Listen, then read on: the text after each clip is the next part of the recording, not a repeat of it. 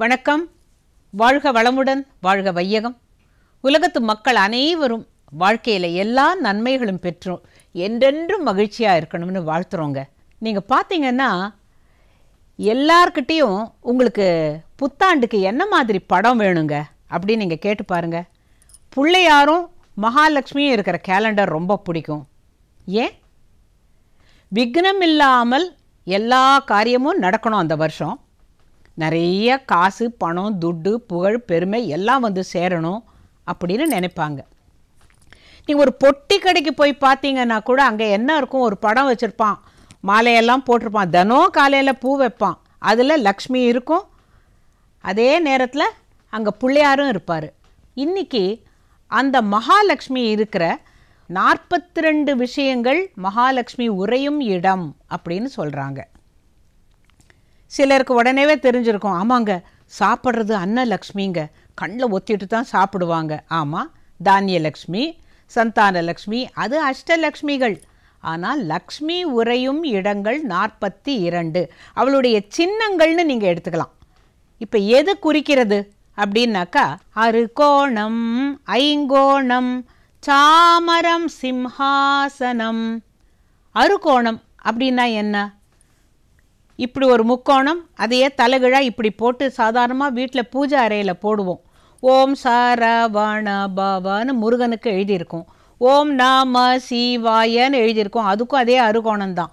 அந்த அருகோணத்தில் மகாலட்சுமி வசிக்கிறாள். ஒன்னாச்சா நாற்பத்தி ரெண்டில் ரெண்டாவது ஐங்கோணம். ஐங்கோணம்ங்கிறது கை எடுக்காமல் நம்ம ஒரு ஸ்டார் போட்டோன்னா வரும்.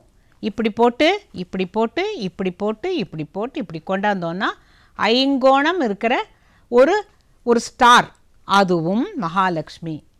அப்புறம் சாமரம். சாமரம்னா நீங்கள் எங்கே பார்த்துருக்கீங்க? ஒருவேளை பழைய திரைப்படங்களில் பார்த்துருப்பீங்க. ஒரு மகாராஜா உட்காந்துருப்பார் ரெண்டு பக்கமும் ரெண்டு சேடிகள். வெள்ளையாக முடி இருக்கும். அது யாக் அப்படிங்கிற மிருகத்துடைய அந்த முடியை வச்சு வெள்ளி பூன் போட்டு ரெண்டு பேர் இப்படியே விசிறுவாங்க. இப்போ இப்போ என்ன பண்ணலாம்? நம்ம கோவில்களில் பார்க்கலாம். கோவில்களில் சுவாமிக்கு ஷோடச உபச்சாரம். பதினாறு வகையான உபச்சாரத்தில் அவருக்கு பாடுவது ஒரு உபச்சாரம். இந்த சாமரம் வீசுவது ஒரு உபச்சாரம். கண்ணாடி காட்டுவது ஒரு உபச்சாரம். அந்த பதினாறு வகையான உபச்சாரங்களில் இதுவும் ஒன்று வருது. சாமரம் மகாலட்சுமி இருக்கிற இருப்பிடம் அப்படிங்கிறாங்க. அப்புறம் சிம்ஹாசனம். ஒரு ராஜா உட்கார்ந்து ஆட்சி புரியறான்னா அந்த சிம்ஹாசனம் மகாலட்சுமி தான் அந்த மகாலட்சுமி இருக்கிறதுனால தான் எந்த ஒரு அரசனும் உடனே அந்த படியில் ஏறி போய் உட்காந்துட மாட்டான். அந்த முதல் படியை தொட்டு கண்ணில் ஒத்திக்கிட்டு இது மகாலட்சுமி இருக்கும் இடம் அதில் நான் உட்கார்ற வாய்ப்பு கிடைக்கிது அப்படின்னு சொல்லிட்டு அவன் நன்றி உள்ளவனாக அங்கே போய் உட்காரணும். ஆக நாலு விஷயம் ஆச்சா? அப்புறமா அறுகோணம் ஐங்கோணம் சாமரம் சிம்ஹாசனம் தாமரை ஸ்ரீ ஸ்வஸ்தேகம் ஸ்ரீபாதம் சங்கம் கலசம் தீபம் வெற்றிலை பாக்குடன் செவ்வந்தி பூமாவிலை கரும்பு வாழை மரம் தேங்காய் வில்வயிலை பழம் நெற்கதீர் உணவு குவியல் ஓலை கூடை துடைப்பம் நகை முத் முத்துக்கள் நகையணிந்த பெண் பருத்த மனிதன் கண்ணாடி சமையல் பாத்திரம். அடுப்பு ஆறு ஏரி குளம். பசுவின் குளம்படி தேன் கூடு மீன் சிலந்தி பல்லி நாகம். யானை பசு குதிரை பூனை மகர மீன் ஆந்தையுடன். அனைத்தும் ஸ்ரீயின் சின்னங்களாம். அனைத்தும் ஸ்ரீயின் சின்னங்களாம். அறுகோணம் ஐங்கோணம் சாமரம் சிம்ஹாசனம் பார்த்தோம். அப்புறம் தாமரை. தாமரை பூவில் லக்ஷ்மி இருக்காங்கிறது நமக்கு தெரியும். வெண் தாமரை அப்படின்னா சரஸ்வதி செந்தாமரைனாக்க மகாலட்சுமி இருக்கான்னு நமக்கு தெரியும். இதனால தான் நீங்கள் மகாலட்சுமிக்கு பூஜை பண்ணுற பொழுது தாமரை பூவால் பூஜை பண்ணாக்கா ரொம்ப விசேஷம் அப்படின்னு சொல்லுவாங்க. மகாலட்சுமி பார்க்கடல்லேருந்து உதிச்சாங்க. அப்படின்னு நமக்கு தெரியும். பார்க்கடலில் உதித்த திருமணியே சௌபாகியலக்ஷ்மி என்னை கடை கண்ணியே அப்படின்னு ஒரு பழைய பாட்டு உண்டு. இந்த பார்க்கடலிலிருந்து உதித்தவளுக்கு ரொம்ப பிடிச்சது தாமரைப்பூ. ஆக ஸ்ரீயின் சின்னங்கள் ஒரு இடத்துல நம்ம தாமரைப்பூ பார்த்தோன்னாலே அது மகாலட்சுமி மாதிரி அப்படிங்கிறது நமக்கு தெரியும். அப்புறம் ஸ்ரீ ஸ்ரீங்கிற வார்த்தை எல்லாத்துக்கும் முன்னால் போடுவாங்க. சில கோவில்களில் பார்த்துருக்கீங்களா? மேலே ஓம் எழுதியிருப்பாங்க இல்லாட்டி ஸ்ரீ எழுதியிருப்பாங்க. ஸ்ரீ அப்படிங்கிற அந்த வார்த்தை அந்த எழுத்து இருக்கே அதுவும் மகாலட்சுமி தான். இப்போ வரிசையாக பார்த்துட்டு வந்ததில் தாமரை ஸ்ரீ ஸ்வஸ்திகம். ஸ்வஸ்திகம்னா என்ன தெரியுமா?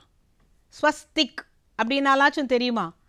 வடநாட்டில் கல்யாணம் பண்ணுற பொழுது அந்த வீட்டு சுவத்தில் ஸ்வஸ்திக் போடுவாங்க. ஸ்வஸ்திக்ங்கிறது நம்ம ப்ளஸ் குறி போட்டு ஒன்றொன்றுக்கும் ஒரு ஒரு கால் இப்படி இப்படி போட்டோம்னாக்க அது பார்த்திங்கன்னா ரொம்ப ஒரு அழகான ஒரு யந்திரம் அது.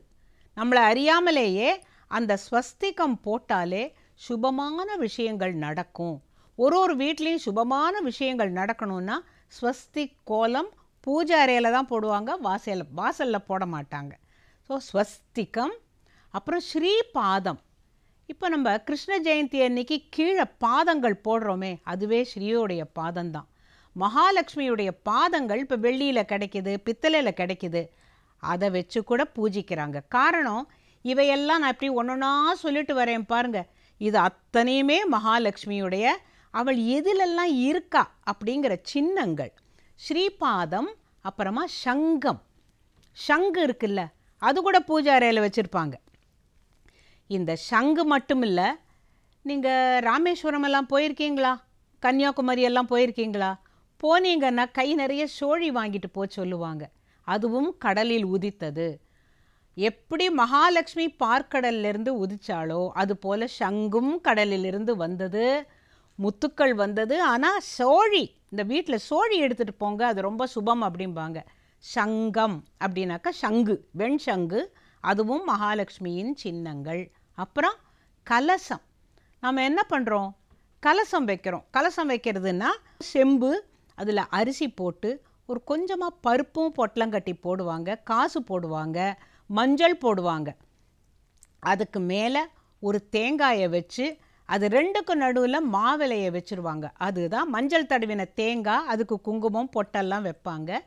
இதுதான் கலசம்ங்கிறது. கலசம் வச்சாலே அந்த வீட்டில் மகாலட்சுமி வந்து உட்கார்ந்துட்டா அப்படின்னு அர்த்தம்.